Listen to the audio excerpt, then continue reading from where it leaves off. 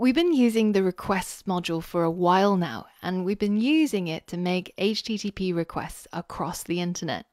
We've already seen the GET request, and this is a way for us to get pieces of data from somebody else, like an API provider. Now, there's also four other common types of requests that we should probably know about post, put, and delete.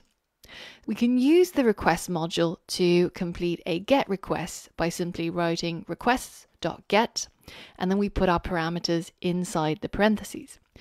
For the other three requests, the code looks pretty much the same. It's dot .post, dot .put, and dot .delete. Whereas a GET request is made where we ask an external system for a particular piece of data and they give that to us in the response, a post request is where we give the external system some piece of data. And we're not so interested in the response we're getting back, other than whether if it was successful or not. For example, if you wanted to save a piece of data in Google Sheets, then you might use the Google Sheets API to post your data into your Google Sheet. Or maybe you want to use the Twitter API to post a tweet. Then your program is going to send your tweet through a post request to the Twitter API. So that's how get and post works. Put is where you simply update a piece of data in the external service. So if you had a spreadsheet in Google Sheets, then maybe you want to update some of the values in the spreadsheet then you would use a put request. And finally, delete is simply where you want to delete a piece of data in the external service, like a tweet that you posted or a Facebook post. Today, we're going to be building our habit tracker using the Pixela API. And in order to use this API, we're going to post our habit tracking data. For example, how many pages of a book we've read, how many kilometers we've cycled, and we're going to be posting that data to Pixela to be tracked in our graph. If you head over to their website and you scroll down, you can see that it tells you how to get started. And it's a series of six steps. So we're going to be completing these in order. And we're going to be pairing this short form get started guide with their documentation. So we're going to have that side by side in order to see all of the documentation on each of the steps.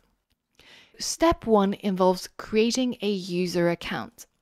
And it says you have to hit up this particular endpoint using the HTTP post request. So, this is the first time we're making a post request. Now I've set up a new project in PyCharm called Habit Tracker and in my main.py, as always, I'm going to start off by importing the requests module. Now because this is a brand new project, we're going to have to install that package to make this red underline go away. And once it's been installed successfully, we can tap into that method requests.post what are we going to put into this parentheses? What are the parameters? What are the inputs? Well, the first thing is the URL endpoint, right? So this is the Pixela endpoint, and that is going to be all of this. Let's copy that over and paste it in as a string. Now, if we head over to the API document you can see that there's an index of the API on the right and also at the beginning of the docs. So what we want to do is first create a user. That's step one. Now, this API is actually really well documented, especially given the fact that it's actually not a big development team behind this. If we take a look, this is the endpoint, and this is what we've got in our code. Next, we're going to make our post request and we're going to add some parameters into the request body. So you can see that some of these are required and others are optional. So we're going to add a value for each of the required parameters. Token, username, agree terms of service, and that we're not a minor.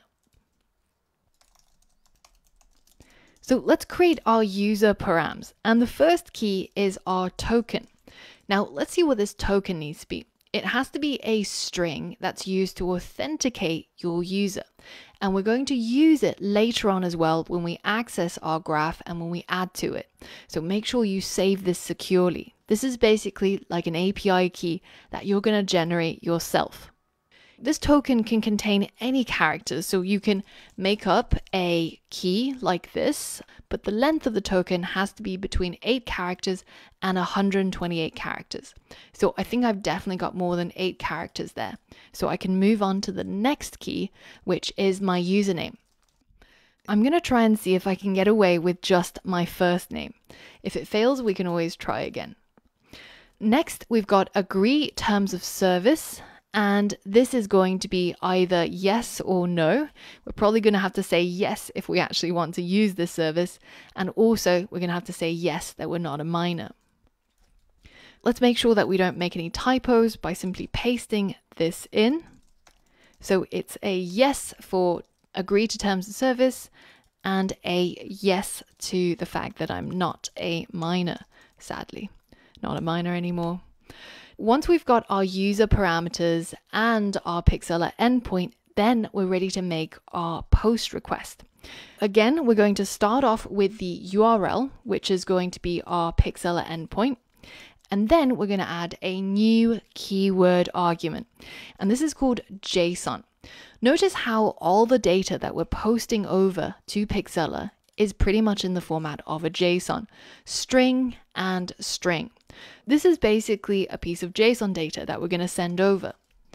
And that's all there is to it the endpoint and also the JSON data that we want to send over.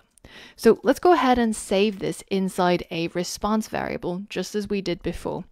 And then once this is completed, let's go ahead and print what the response is.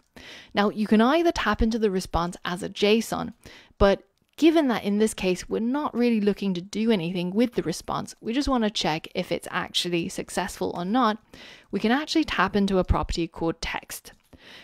So it'll give you back the response as a piece of text.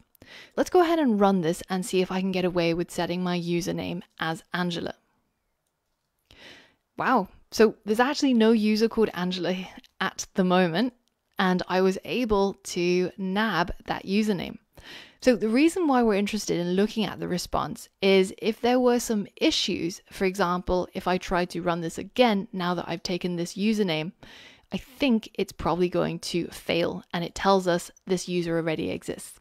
Now, alternatively, if we said no to one of these, agree to terms of service or not minor, it's probably also going to give us a message telling us why this post request failed.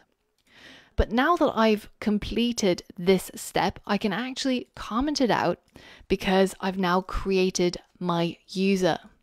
We've now set up ourselves with a new account on Pixela with a username and also a secret token that we're going to use in the future to access this account.